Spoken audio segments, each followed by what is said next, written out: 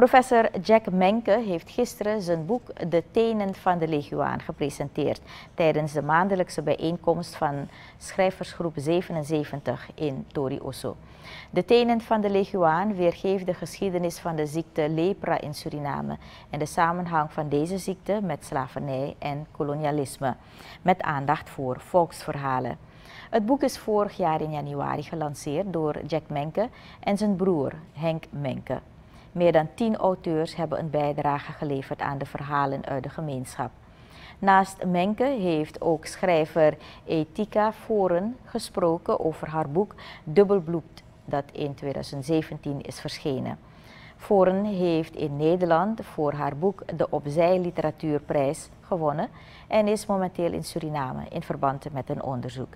In dat boek beschrijft ze haar eigen leven als kind van een Surinaams-Creoolse vader en een Nederlandse moeder.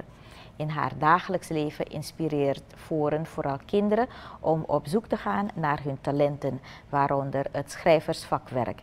Beide boekpresentaties hebben veel aandacht getrokken van het publiek. De schrijversgroep blikt tevreden terug op een geslaagde avond.